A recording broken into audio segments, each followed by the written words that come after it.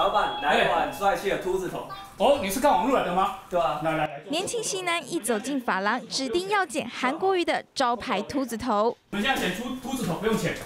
发型师一刀刀利落的将型男的头发剃光，不一会儿，型男瞬间变成光头。刚刚好。这位是老板剪的第两百零三颗秃子头。还有这位秃头阿贝的发型怎么那么炫？仔细一看，后脑勺是由红色、蓝色、白色所组成的韩国国旗。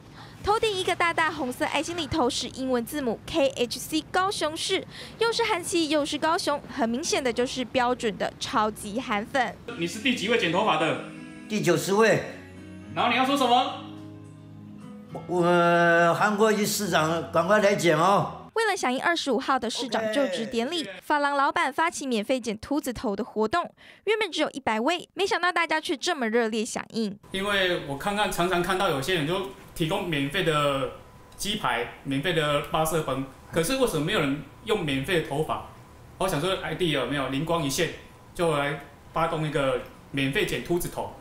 韩国瑜人气红不浪，就连发型也带动流行。想必就职典礼那天，场面一定很壮观。记者陈生义、黄玉涵高雄报道。